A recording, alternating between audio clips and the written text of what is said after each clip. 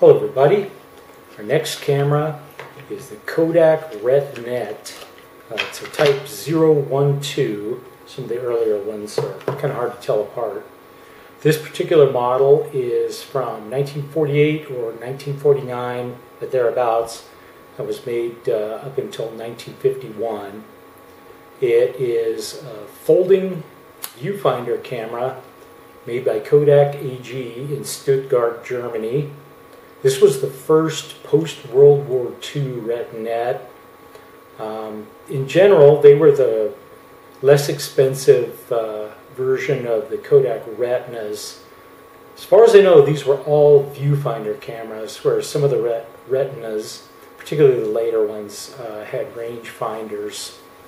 This one has a Schneider Reomar 50 millimeter f4.5 lens.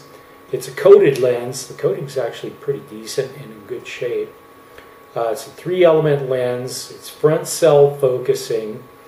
Uh, the serial number on this lens indicates that it was made in 1951.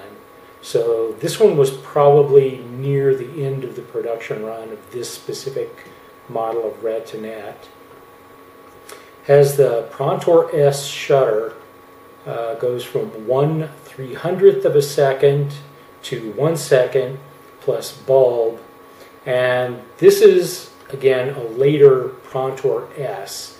The ones with these features, uh, with the X-Sync and a delay function, a self-timer, um, that's more like the ones that were later uh, labeled SV the frame counter, and you have to manually set it after you load the film, this counts up. I had a manual for a later version of this originally, and it said it counted down, but this one does not. And later I did find a PDF of the manual specific to this one. The shutter button and the cable release, see if you can see it okay, they actually move this bar from the body that works the shutter release on the shutter mechanism itself.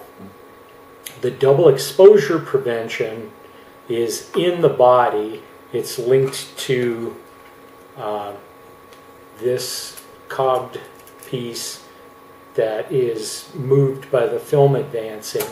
So it's a little bit strange. The double exposure prevention is actually preventing the shutter switch on the body um, but it, that is actually tripping the shutter switch on the shutter.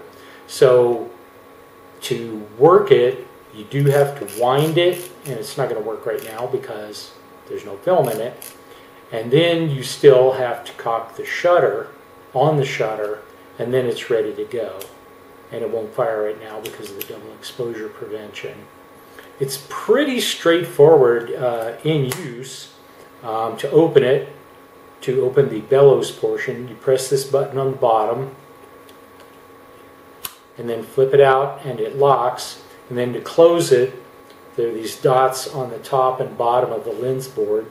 You just push those guys in and it's ready to fold. One thing that's nice, uh, because it's front cell focusing, things aren't moving in and out, so you don't have to remember to set this guy to infinity focus to be able to close it a lot of the old uh, folding Kodaks, you had to do that. I got a pretty decent kit with this guy. Um, I got the case with the strap, and it's one of those where it has kind of a short hand strap, and then the strap strap straps into the short strap. Uh, like a lot of old cases, the leather broke here, but the rest of it's in good shape, so that'll be pretty pretty easy to repair. I think I'll stitch that guy back together. Got a yellow filter uh, made in Germany in the original case. And I got the box from what I believe is the original purchaser. Uh, it says made in the U.S. zone of Germany. So that tells you this was shortly after World War II. And then uh, it's labeled with the purchaser, Sergeant Pinot. I think I'm saying that right. If it's like Renault, like the car or the guy.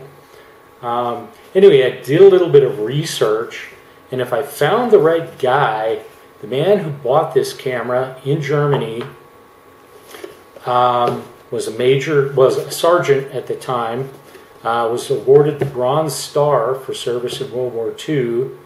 uh, retired as a sergeant major, and sadly died in 2021.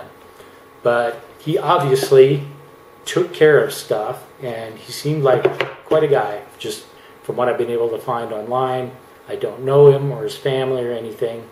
I just thought it was cool to be able to track down the original owner of this camera. Um, I took this out, I did a walk around uh, with a friend of mine whose Signet 35 I had borrowed.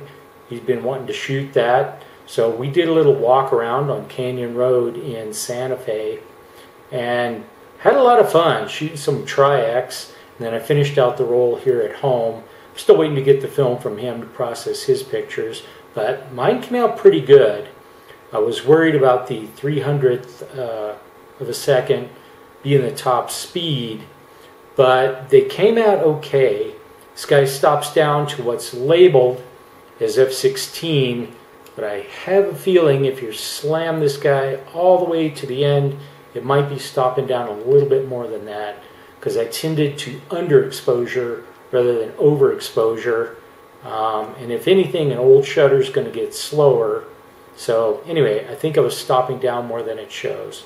So this won't actually fire right now because of the double exposure, but I'll show you these pictures and get on to the next camera, try and get caught up, and I will see you then.